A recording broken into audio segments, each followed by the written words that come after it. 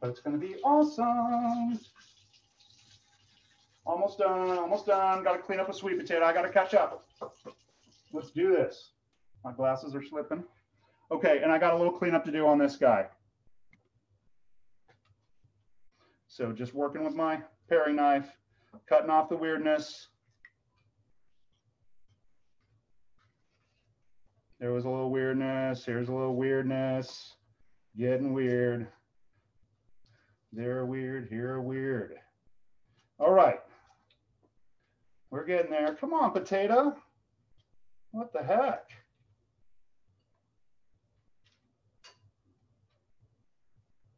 Huh. Very odd. I'm really uh, throwing down hard here.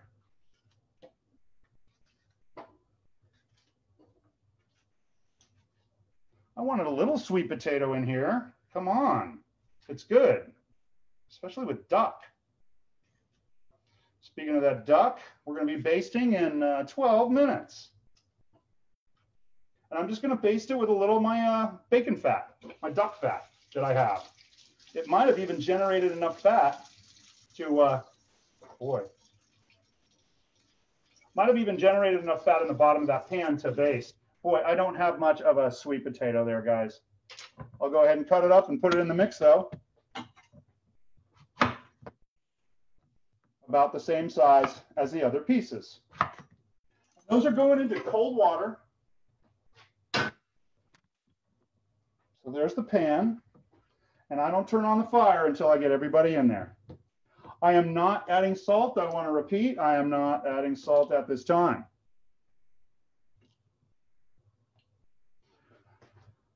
And I'm going to go ahead and fire that up. It's water, so I can crank it. Okay, so it's on 11 right now, the highest temp that fire can get. Can't get any higher. I think I'll uh, get rid of a little water there. That's a little fuller than I need. It'll take longer to cook. I need just enough water to get this done. Let me take another look at that. Yeah, beautiful. I've got a potato sticking out over there, but they're all underneath water now. I've got a lid on there so it comes up a little quicker. I leave the uh, salt out. I'm going to put salt in later. And I'm going to do just a quick little rinse of my board and my knife here. It's got potato starch on it. And then we're going to look at our next uh, little thing while these potatoes are kind of rolling along, okay? By the way, other ingredients to these mashed potatoes, I'm going to do a little salt, pepper, nutmeg, and um, uh, uh, butter, and that's it. I'm not putting anything in. I don't do milk. I don't really do cream or things like that. I find that when I add liquids, the more water that the liquids contain, like you know, milk, or it's pretty watery, right?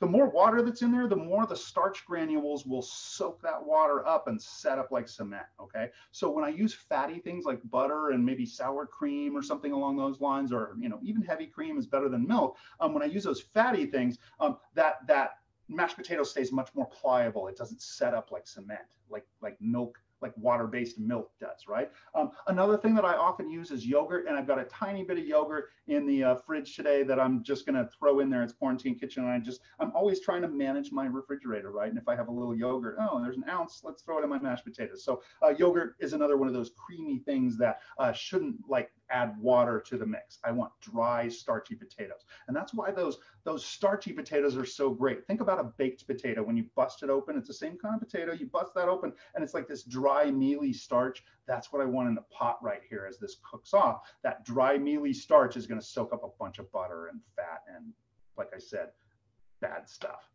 that is so, so good. Okay, so uh, four ingredients. I'll go over those ingredients again in a little bit. I'm still cleaning up here and we're going to get into the next phase here. All right. Do, do, da, do. Scene change. Do. Do, do, do, do. Big Hollywood big band cruising in right now. And uh, maybe a little commercial. Uh, the Oldsmobile Skylark. I don't know whatever commercials are on TV. I haven't had TV in like 30 years now, I think. We pulled the cable so long ago, I never see commercials. I know nothing of pop culture. I am so not street.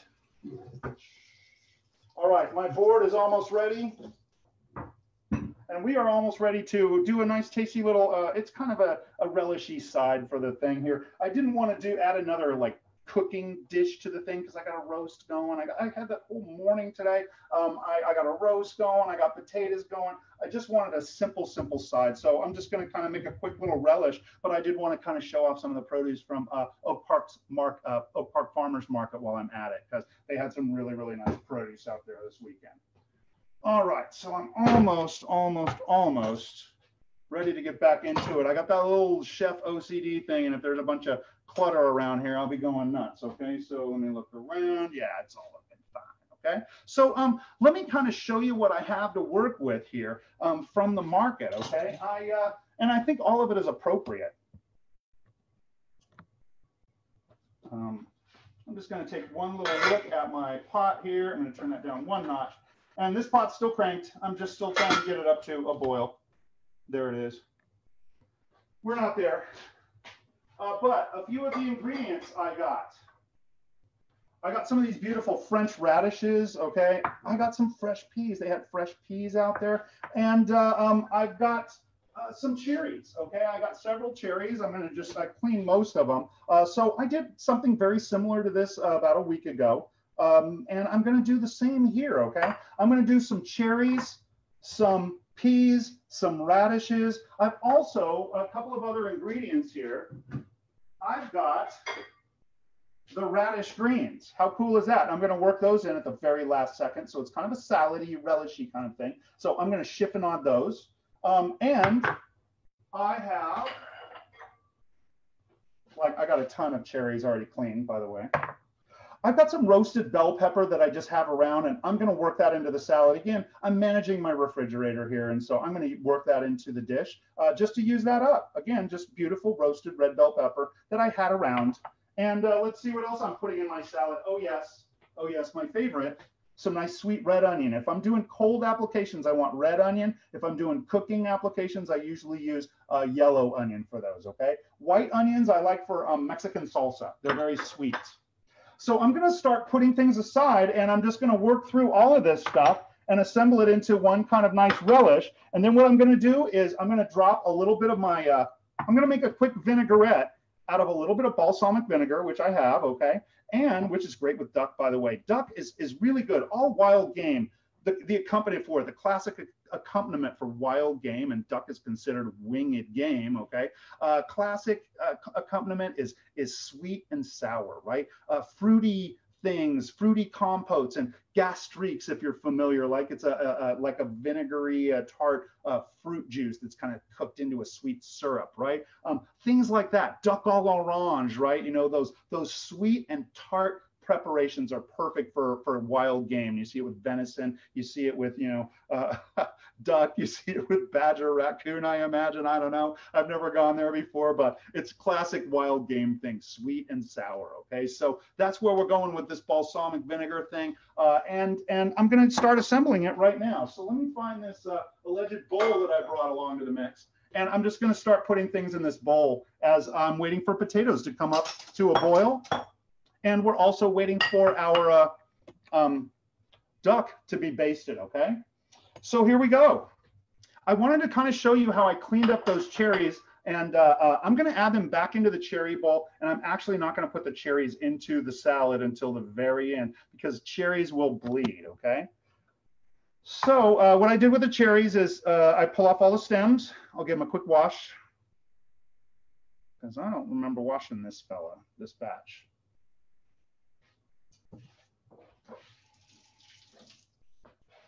And so there are some cherries on the ground. And I'm going to use a uh, tiny little paring knife that I've got right here, the one that I was using for my sweet potatoes.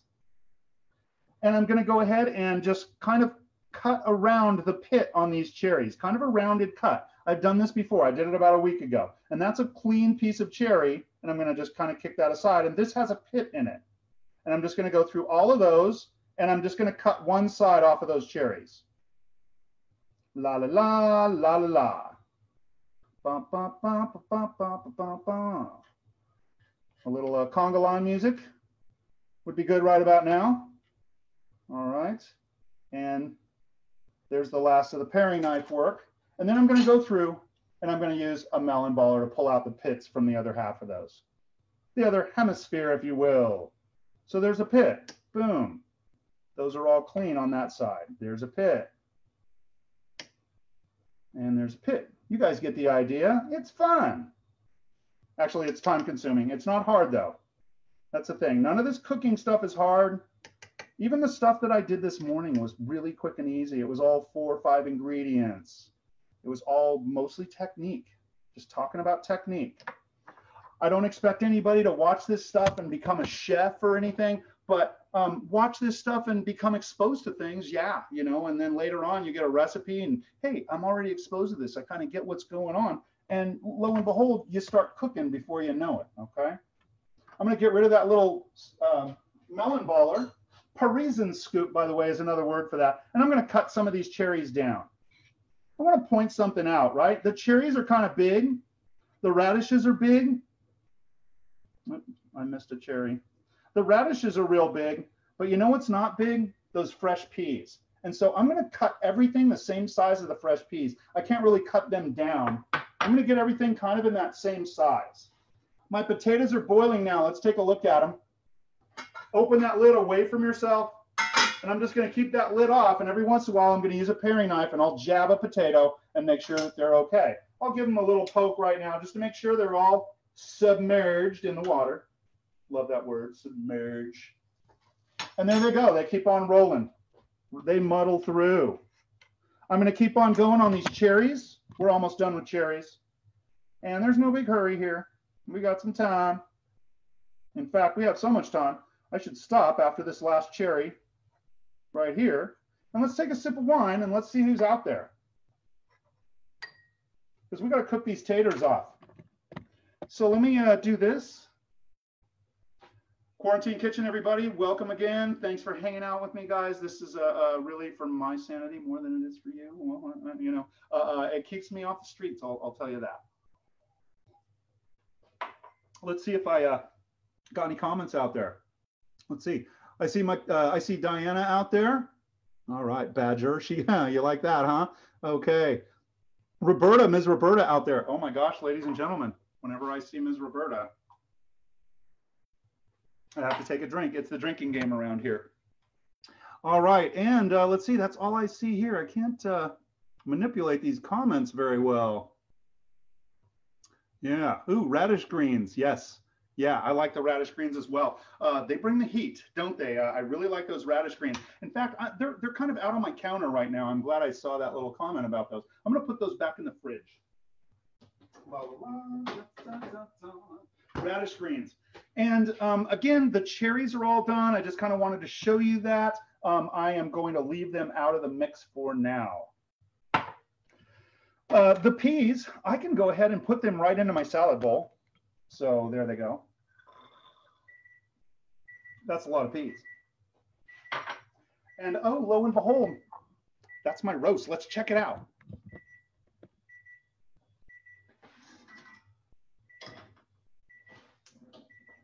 Turn that off. I'm going to scoop my potatoes over, turn it on down. And I still want those potatoes rolling though, okay? So I'm gonna have them on, uh, oh, one of my favorite temperatures, about seven out of 10. I'm gonna turn off the heat on this side of the, uh, of the mix. And these potatoes are coming back up. I'm gonna pull out my duck and we're gonna take a look. Ooh, I don't like this big towel. Hmm. Little towel, please. Here we go. And we're going into that oven and I'm gonna pull this really, really quick. Oh yeah. Ah, it smells so darn good in here, okay? Let me get my fat.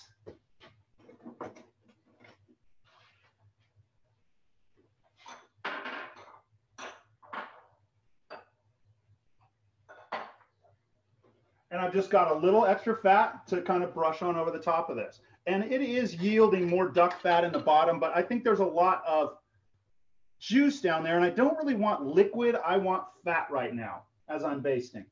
It's coming along beautifully. And if I could kind of zoom in a little bit, you can see the bones are picking up color as well. So later on when I make a stock, those bones are gonna have that flavor in the mix already. Look at that duck. It is beautiful and it's going to slice up perfectly. Well, I don't know about perfectly, but it's going to slice up nicely. Okay. I think we'll uh, we'll have ourselves a dinner there. Okay. So let me get this back in the oven. I'm going to open that door and I'm going to get it right back in there. Let me kind of turn that camera. You can kind of see that right now. In and close. I'm going to turn that pan and the door's closed. Okay. Save that heat. That's you're going to want that heat. All right, so I'm kind of moving things around. I'm going to move my uh, basting oil over to the other side. Again, it's like chicken, duck fat. It's all appropriate flavors for that. And again, I want to emphasize, you don't want to use like stock to baste with, not a liquid. You need a lipid, a fat for basting, okay? Next thing I want to do is I want to cut up my French radishes, okay? I love the look of these little guys. Let me hold them up, just these elongated radishes. You've seen them. All the Hollywood celebrities are always carrying these radishes around in their pockets. So um, let me cut these guys up and we're going to mix them in with our salad. Yes, Hollywood celebrities with radishes in their pockets. It was in the Inquirer. Okay, I'm going to take off that little nub at the end there. It's just a little funky. And I'm going to split them, and I want that little long piece on there. I love that kind of stuff. Well, I might take a little of it off, but I do want a little of that little nub sticking out there. I'll trim it slightly, cut them in half. Trim it slightly, cut it in half. And la la la, all the way down. This one has a little more, more of the green on there. And there it is. And down to the bottom, radishes, beautiful French radishes came from that Oak, uh, Oak Park Farmers Market this weekend. I love them.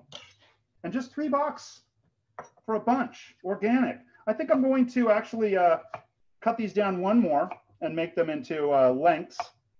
And uh, I think I'll like that size a little bit better. I just changed my mind on this, right? Changing horses in the middle of the stream. Bad chef. And then I'm going to kind of go across them and I'm going to cut them in pieces about the size of my peas. Remember, I can't change the size of the peas. So these are little radish nubs that are going in with my pea relish. That sounds delicious, pea relish. That's not the dressing. La la la. Okay, right across and keep them going. I think one of these I need to cut down. Oh, I did. He's good.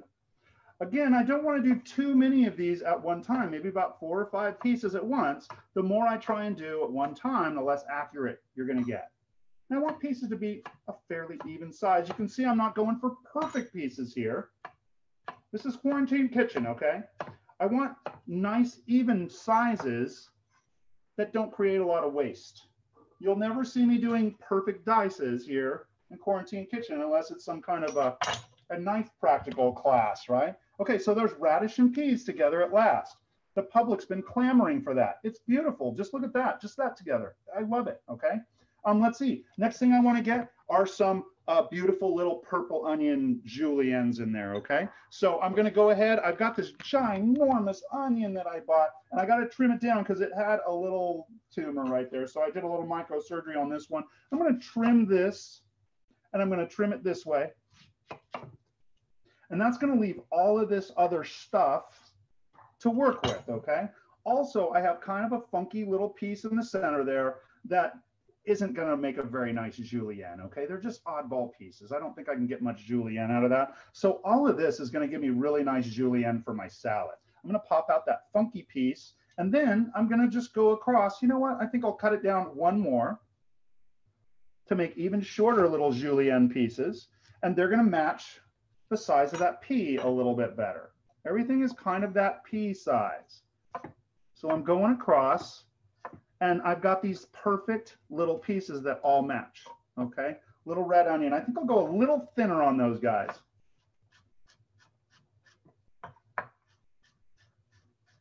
La la la, la la la. Okay, and I've got a little bit more here.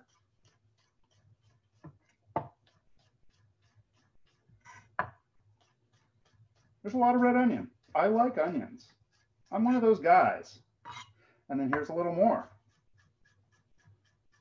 Bum, bum, bum, bum, get back, honky cat. Bum, bum, bum. I've had that song stuck in my head for two days. And in goes my red onion. Take a look at how that looks against everything. I've got the purple, I've got the the light red, the bright red, light red. Let's just call it pink, okay? Light red is pink. And I think I probably got a little, uh, just plenty of the uh, um, red onion in there. I've got a little piece there that I don't think I'm going to incorporate. Oh, look at that. I had an extra radish. That happened to me last time too. I'm going to incorporate him. He got away. That exact thing happened last time I did radishes. Funny. I uh, love the look of this so far. Peas, radish, and the purple onion. I'm going to go over here and poke my mashed potatoes here in a minute with a poking implement, with a poking stick. Uh-huh. Okay, here's my poking stick. And I'm just to get over here and kind of give them, uh, kind of check them out. Okay, my uh, um, sweet potato is still quite firm, if you will. My uh, uh, russet potatoes are still quite firm as well, but they are just cruising along beautifully. I think I will uh, throw a lid on that, kind of uh, slow that down slightly because it's got the lid. And we're going to let that steam a little bit better on the top there. There was a few little nubs sticking out. I really wanted them to steam. Okay, so that's going to keep on rolling over there. And we are still working on our salad here. Okay, let's see. Other ingredients. Ah, yes. Ah, yes. Um, the last thing that I wanted to kind of throw in, well, two other things. But this one is my uh, red bell pepper. I want to add that in just to use it up. Again, I just had it. And again, we're not doing recipes here. This is just everything I really picked up from the market the other day. I uh, kind of like the size of my red onions, so I'm going to cut these bell peppers in a similar size. So I'm cutting them across and then I'll cut them across the other way, or cutting them lengthwise, I should say. And then I'll cut them across the other way. And there's just a little oddball piece. Scooby Snacks. Okay, so I'm going to take about two or three pieces at once and go across and make little bits of red bell pepper. And this is another one that I'm going to hold out until the end because that red bell pepper flavor will just permeate everything. So they're going to be about the last thing I throw in. This is all getting, I'm making this beautiful mixture and I, I got to say, I'm going to be throwing balsamic vinegar on it and uh, it's going to just destroy the color of all of this stuff. But the flavor is, is very, very appropriate for what we're doing. That balsamic vinegar, it's sweet, it's spicy, it's sour, it's that perfect accompaniment for game animals and winged game most especially, like duck. Okay, so let me get my little container for that uh, bell pepper.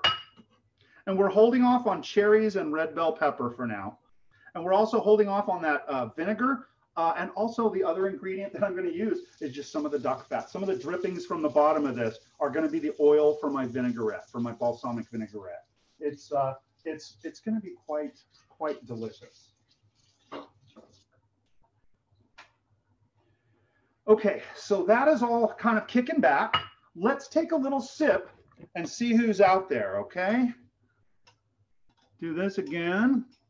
And let's see. Oh, Mr. Burt is out there. Good to see you, brother. Let's get another one of these. Oh dear, I'm about out. Okay, I may have to get another little uh, another little sip here. Let me just do that.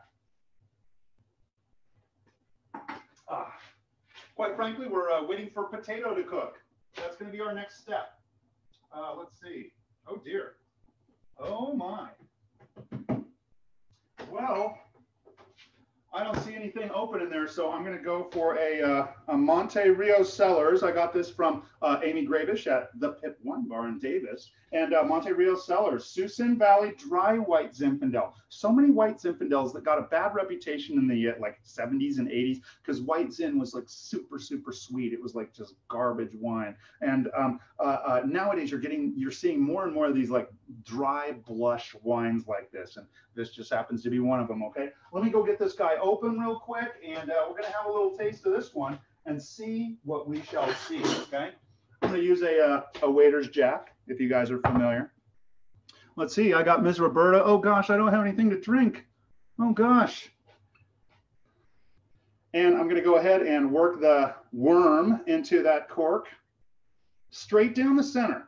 You got to get it centered on there. Remember, the tip of the corkscrew is not on center, it's off to the side. So you got to kind of have it off to the side. And then I get this on, right?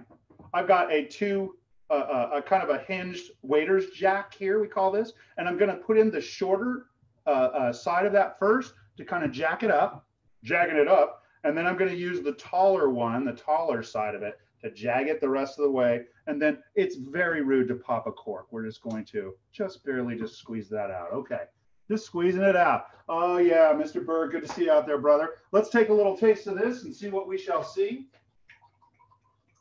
La la la la la la. Uh, uh, uh, uh, uh, uh, Okay.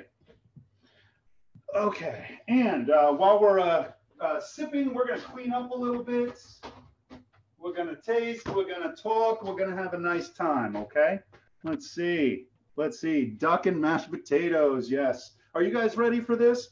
Don't forget if you are liking these vids, go over to my uh, uh, my industry cooking classes page over on YouTube.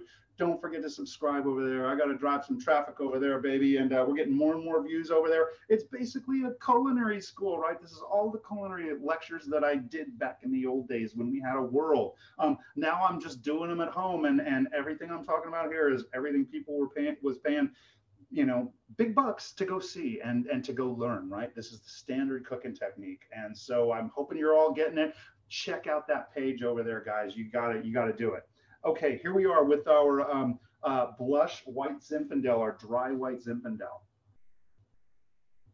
by the way i hope everyone knows that when we say dry with wine that means unsweet the absence of sweet this is very easy to drink oh my goodness i'm going to get in trouble with this one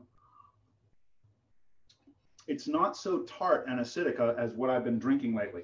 Um, let me step off camera just for a minute. Scene change, be right back. La la la la la la. la.